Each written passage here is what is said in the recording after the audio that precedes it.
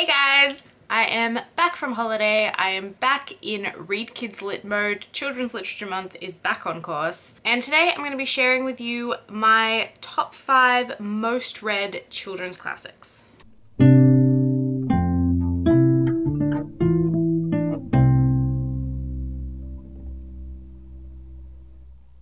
So the books I'm going to be talking about today, I'm sure some of you could guess all five without even thinking about it.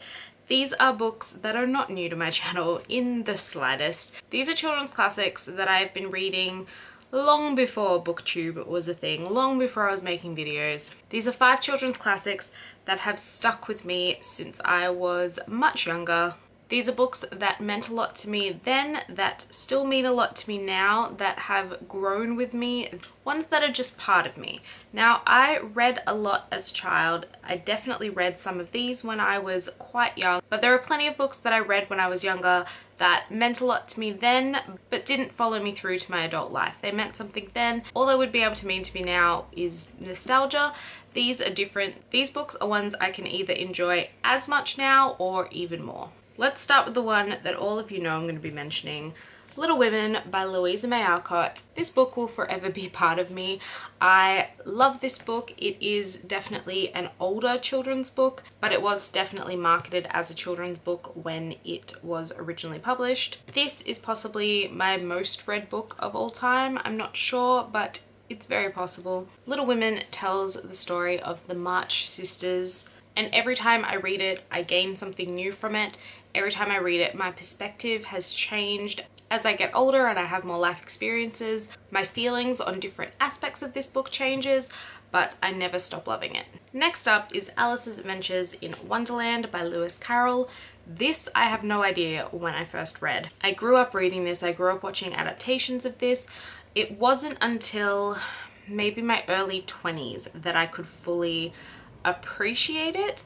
Um, that's not to say that I didn't love it as a child because I did, but there's something about this um, that when you reach that stage where you can put it all into context, where the social and historical elements of this sort of slide into focus and it just becomes something more. I love this book. It is nonsensical and wonderful and beautiful. And if you've only ever seen adaptations of this and not actually read the text, I highly recommend picking it up. Next, we have Charlotte's Web by E.B. White. And I think I read this for the first time in about year four. I think we read it aloud in class and it broke my heart. I grew up watching the I want to say 70s uh, animated adaptation, which is amazing and I love by the way. There is just something wonderful about this book in its simplicity. It is just charming and lovely and while I would consider this the book most suited to young children out of all the ones I'm talking about, no matter my age, no matter how I change, there is something about this book that I love. Next up we have Winnie the Pooh by A.A. Milne. Obviously I've talked about this a lot recently. This book just reached its 90th birthday and I did quite a few videos about it. I love the character of Pooh Bear. He is one of my all-time favorites. I grew up reading and loving these books. They are such a nostalgic comfort for me. I love these stories. They are beautiful. I love the Disney adaptations. I just love everything to do with Pooh Bear. But since I have talked about them so much recently, I won't harp on about it, but definitely one of my most read children's classics for sure. And lastly, we have Mary Poppins by P.L. Travers. I think I was in my early to mid-teens the first time I read this and I fell in love. I grew up watching the Disney film, which I still adore. I really do love it.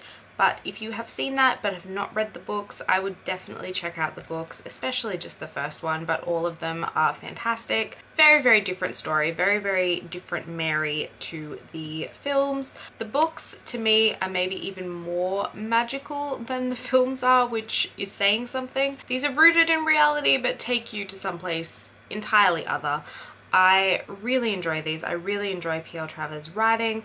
I love the concepts in these books. I've talked about it before, but it's been a long time. My favorite chapter in this book is John and Barbara's story. In the books, there are actually four children under Mary's charge, Jane and Michael like in the movie, and then infant twins John and Barbara. And the chapter dealing with John and Barbara is completely wonderful. It deals with this concept of very small children being able to understand a lot more about the world than we would assume, having their own language, being able to talk to animals and things around them and then reaching this age where they become more of a blank slate again and have to learn and grow and become what we think of as a person. It's completely magical, it's completely whimsical.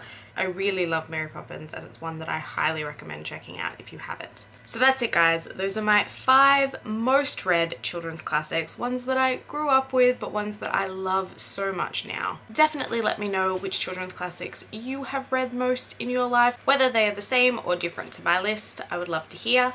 Thank you all for watching, I hope you guys enjoyed this and I will see you soon.